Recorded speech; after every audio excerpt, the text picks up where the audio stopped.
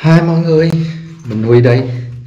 À, hôm nay à, Huy sẽ đi tới cái chỗ trung tâm hỗ trợ à, cho người mới tới à, Canada. Ok, sai lầm rồi. hôm nay quên đem theo lạnh.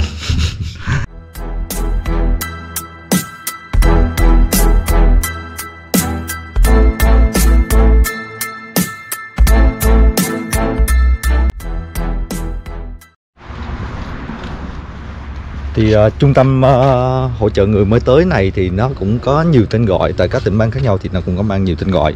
Thì tại ờ, uh, uh, Regina Saskatchewan của mình thì nó có tên là uh, Newcomer uh, Welcome Regina đó. Thì uh, hồi mình cũng biết cái trung tâm này cũng khá lâu. Khi trước khi qua Canada thì mình cũng đọc trên nhiều cái trang của vlog hay là uh, Facebook gì đó thì các anh chị cũng hướng dẫn tới cái trung tâm này thì uh, mình cũng không để ý lắm bởi vì hồi bữa là mình cái chỉ tưởng là hỗ trợ hỗ trợ về tiếng Anh thôi hay là một số cái vấn đề về về tôn giáo của cộng đồng. Nhưng mà sau khi mình uh, coi trên website của của riêng cái trung tâm newcomer của của tại Richania này thì mình thấy là họ hỗ trợ cũng khá nhiều cái cái công việc khác kể cả việc uh, hỗ trợ mình làm các thủ tục giấy tờ hay là hỗ trợ mình uh, định hướng uh, nghiệp hướng nghiệp đó rồi ờ, thậm chí là mình có thể apply một số cái công việc tại cái trung tâm này. Lương không tổ chút nào nha mọi người mình đọc à, mặc dù nó là những cái tổ chức phi chính phủ thôi nhưng mà họ tuyển dụng vào nếu mình làm một admin hay là officer tại những cái trung tâm này thì lương officer tối thiểu nó cũng có khoảng 40 ngàn đô la. Còn nếu mình mình lên cấp độ là supervisor hay là team lead gì đó thì thậm chí là lên tới 60 mấy ngàn đô la. Thì họ có họ hoàn toàn họ sâu sâu ở trên ờ, cái ờ, trang web của họ về cái, cái chế độ đại ngộ như vậy. Ok thì mình cũng sẽ tới mình uh, uh, hôm nay mình làm bài test uh, tại cái trung tâm này. Cái vấn đề chính thì uh, Uh, mình cũng nghe một số anh chị nói là uh, cái trung tâm Open Door với lại cái cái thằng uh, Newcomer này thì nó hoạt động chung à, mình thấy là trong web nó cũng sử dụng chung. Thì à, hồi bữa thì mình mình có nghe một số anh chị phản ánh là cái chất lượng họ dạy thì nó cũng không phải là nó tốt lắm đâu. À, họ dạy cũng cũng cũng đủ cho mình giao tiếp thôi. Nhưng mà sợ dĩ mình mình đăng ký. Ôi còn ngọng không sở dĩ mình đăng ký cái này thì mình có biết cái thông tin là uh, họ uh, có họ ngoài việc dạy ra thì họ có thể sau này họ cho mình làm cái bài test uh, của CLB đó bài test CLB thì cái bài test này thì nếu mình hoàn thành xong thì họ cấp cho mình một cái certificate một cái giấy chứng nhận. Thì cái cái giấy chứng nhận này nó hoàn toàn hợp lệ để cho mình apply uh, hồ sơ BA sau này. Đó thì thay vì mình học IELTS uh, mình tốn tiền thi IELTS mình tốn phí. Nó khoảng thi IELTS thì thì hình như mình nhớ là hai khoảng 200 đô gì đó. Không biết ở bên Canada này bao nhiêu nhưng mà tại Việt Nam thì hơn 200 đô. Học học thì nếu mình tự học thì không tốn tiền nhưng mà nếu mà mình học uh, qua những cái kênh khác thì tốn tiền thì cái này thì họ dạy miễn phí và mình mình uh, có thể test cái lấy cái certificate của uh, COB thì nó hoàn toàn hợp lệ thôi.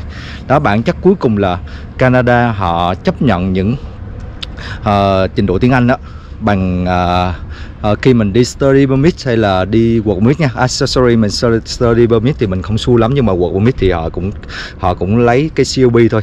Sau đó là bởi vì mình bên mình thì không có hệ thống COB thì họ sẽ cuối cùng mình sẽ quy đổi từ cái IELTS hay là cái CFU uh, C E P H E L L gì đó.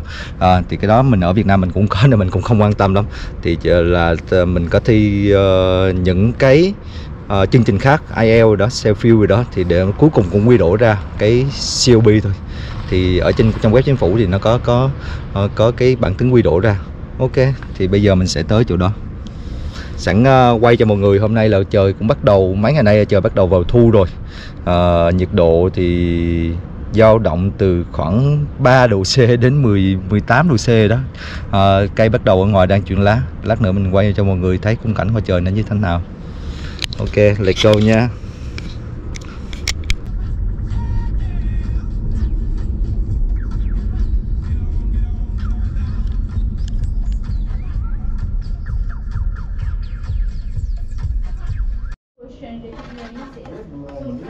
Question is uh,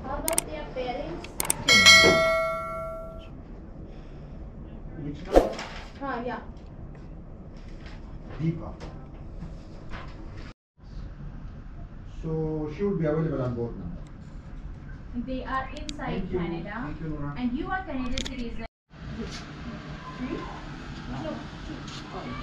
Khi làm bài test thì họ sẽ tạm giữ phone và các phương tiện ghi hình của mình.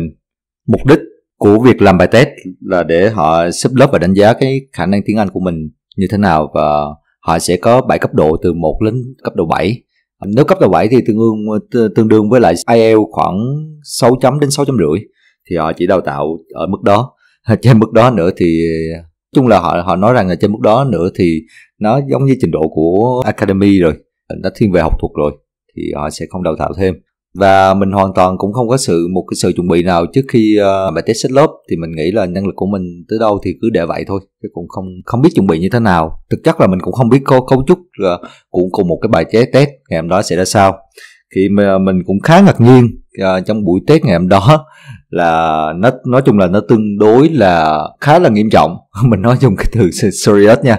Bởi vì là mình cứ hình dung là khi lên tới test thì họ sẽ có một tiếng đồng hồ họ sẽ làm họ vừa nói chuyện với mình hay là họ vừa phỏng vấn mình mang tính chất interview nhiều hơn chứ không có, có làm những bài luận. Nào ngờ vào thì easy một cái buổi thi IELTS chẳng qua một buổi thi IELTS rút gọn cụ thể là gì? Đầu tiên là họ cho mình làm một cái bài reading. Làm bài reading này thì nó cũng phải có 3 phần. Mỗi cái phần thi như vậy là nó sẽ có 30 phút. Reading 30 phút thì họ sẽ có ba cái ba cái phần chia nhỏ ra trong đó. Nói chung là easy giống như kiểu IELTS 10 câu hỏi đầu họ hỏi đầu tương đối đơn giản có 10 câu hỏi sau là đọc một cái bài luận cũng khá là dài và trả lời các uh, uh, những câu hỏi trong đó. Và 10 câu hỏi sau nữa là một cái bài luận dài hơn nữa những câu hỏi cuối cùng là mang tính chất là tóm tắt và mình ờ, nội dung hóa cái từ tiếng Anh nó phù hợp để giống như là tóm tắt lại uh, một cái đoạn văn gì đó. Thì cái này những bạn nào thi IELTS thì các bạn sẽ sẽ rành. Rồi t- tiếp sau đến cái phần reading là đến cái phần speaking.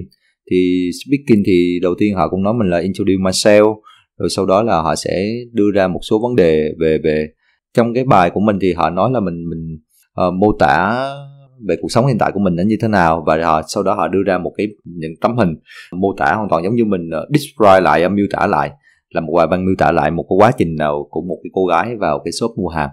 Phần speaking speaking xong thì tới phần listening listening thì họ sẽ cho mình nghe từng đoạn nha paragraph sau cái từng đoạn đó thì họ sẽ hỏi ý chính của từng đoạn đó nó miêu tả về cái gì và họ sẽ đặt những cái câu hỏi nó mang tính chất cũng hơi đánh đố nha. Nói chung mình phải hiểu gần như mình hiểu 80 đến 10 phần 80 đến 100 phần trăm cái nội dung của đoạn đó nó miêu tả cái gì để mình trả lời chính xác.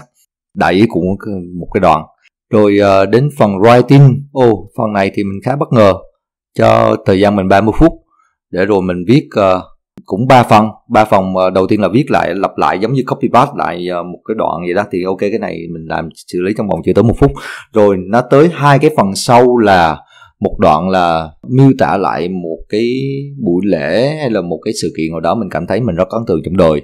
Rồi cái ok, cái đó thì mình viết thì họ cho mình viết khoảng 8 đến 10 dòng rồi đó, không vấn đề gì. Nhưng mà cái, mình khá bất ngờ là khi một cái đoạn sâu nữa ờ, cái phần thứ ba thì họ nói mình đi xì một cái đoạn IELTS luôn là mình nêu ý kiến quan điểm của mình về một vấn đề gì đó, mình đồng ý, không đồng ý. Ôi, có 30 phút à trong khi mình, nếu mình thi thực tế là phải một tiếng đồng hồ. Mình mình viết gần thực tế ra là mình viết gần trên hai trang giấy nha hai trang giấy. Uh, tính ra nó phải là vài ờ, vài trăm chữ đến nhưng uh, chỉ cho 30 phút thôi. Họ canh uh, giờ rất là chính xác luôn.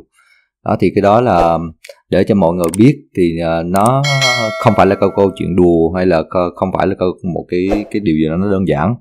Uh, dĩ nhiên thì uh, năng lực của mình thì mình sao mình cũng phải chấp nhận vậy để mình học một cái lớp nào đó nó phù hợp với mình thì uh, nhưng mà mình uh, cũng chia sẻ tạm thời chia sẻ với mọi người là là cái, cái cấu trúc đề nó như vậy cũng gần như là một cái bài thi IELTS thu nhỏ. Có khi có có khi nó còn khó hơn nữa bởi vì thời gian nó eo hẹp hơn nhiều.